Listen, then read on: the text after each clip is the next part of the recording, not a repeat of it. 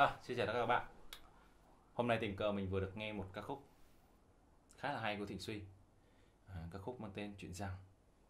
À, Mình thấy giai điệu bài này khá là vui tươi và dễ tập đấy. Cho nên mình quyết định hôm nay sẽ hướng dẫn cho tất cả các bạn Làm sao chơi được cái bài này một cách đơn giản nhất và hay nhất có thể. Ok nhá Ok, trước khi đi vào bài này chúng ta sẽ xem thử bài này gồm có những hợp âm nào nhá. Đầu tiên chúng ta có hợp âm đôi trưởng. Một ngón ở đây, một ngón ở đây và một ngón ở đây. Bắt đầu trên năm nhá.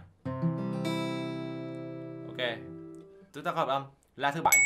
Một ngón ở đây Và một ngón ở đây. Ok, bắt cũng là dưới năm luôn. Rồi, chúng ta có hợp âm Rê thứ bảy. Một ngón ở đây, Một ngón ở đây Và một ngón ở đây. Bắt gì số 4 nhá. Ok, Chúng ta có hợp âm Son trưởng Một ngón ở đây, Một ngón ở đây, Một ngón ở đây Và một ngón ở đây. Bắt gì số 6 rồi chúng ta có âm. Rê trưởng. Một ngón ở đây, một ngón ở đây và một ngón ở đây. Ba dây số 4 nha.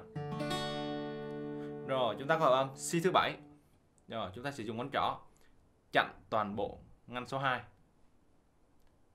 Ngón giữa chúng ta sẽ đánh vào dây số 2 ngăn số 3 Ngón áp út chúng ta sẽ đánh vào dây số 4 ngăn số 4 Rồi bắt từ dây 5 mình sẽ đặt xuống. Đấy Khá là đơn giản. Rồi chúng ta vào âm. Mi thứ bảy một ngón ở đây một ngón ở đây một ngón ở đây và một ngón ở đây. Ok chưa? Rồi chúng ta có âm la trưởng. Một ngón ở đây một ngón ở đây và một ngón ở đây. Đó. Ok, okay. vừa rồi là toàn bộ hợp âm của bài hát chuyện rằng. À, tiếp theo đây chúng ta sẽ đi thêm thử tiết tấu của tay phải mình sẽ đánh như thế nào nhá. Ok về phần tay phải chúng ta sẽ sử dụng một tiết tấu khá là thông dụng của điểm hát đó là điệu blue. Và điệu blue sẽ đánh như thế này.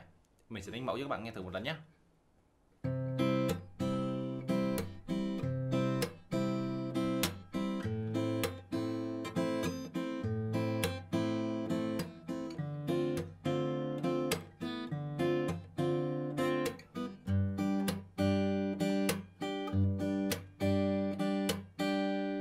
Ok chưa? Rồi tiết tấu nó sẽ đánh như thế này.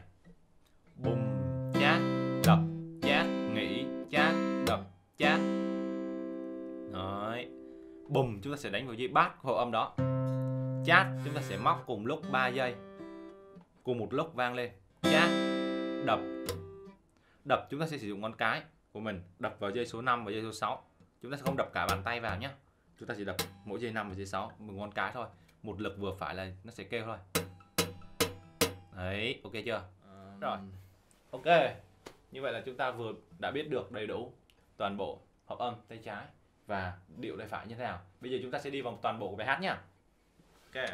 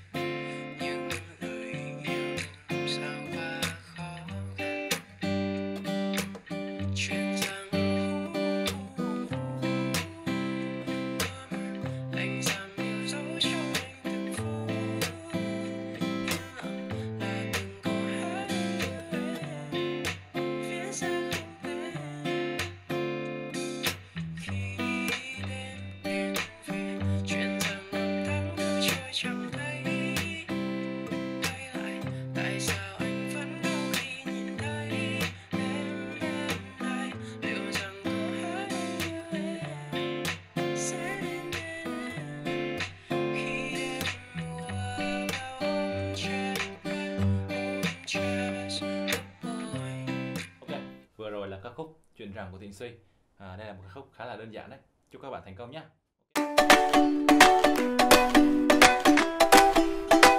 okay.